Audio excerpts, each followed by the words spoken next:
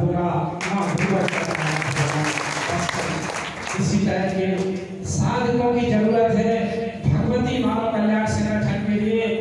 आज इस संसार में जिस तरह का पाखंड फैला हुआ है, अगर हमें उसका सामना करना है तो गुरुवर की विचारधारा पर चलना ही होगा। जिस तरह से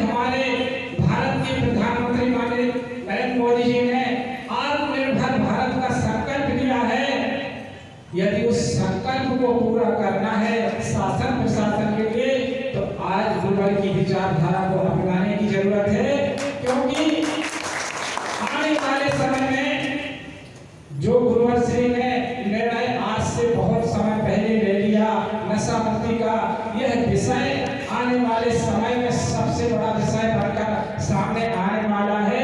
आप इतिहास के पन्नों में देखते रहे, गुरुवर की वह विचारधारा जो कई वर्षों पहले ली गई निर्णय आज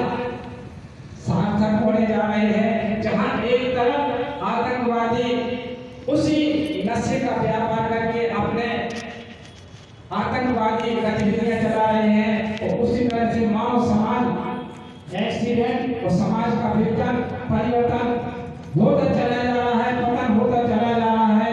हमें विचार करना होगा कि हम आत्मनिर्भर भारत को बनाना है तो हमें गुरुभाई की विचारधारा को अपनाना होगा आज भगवती मानव कल्याण संगठन शाखा सागर की में आरती मासिक महाआरती में मैं इस मंच के माध्यम से गुरुवर के चरणों के माध्यम से कहना चाह रहा हूँ कि यह विषय नशा मुक्ति का सबसे बड़ा विषय बनकर सामने उभरने वाला है। और इस विषय को सभी को लेकर चलना होगा शासन प्रशासन को इसके सामने झुकना होगा। इस विषय को सबसे बड़ा विषय लेकर चलना होगा। इन्हीं शब्दों के साथ जय गुरुवर की जय गुरु।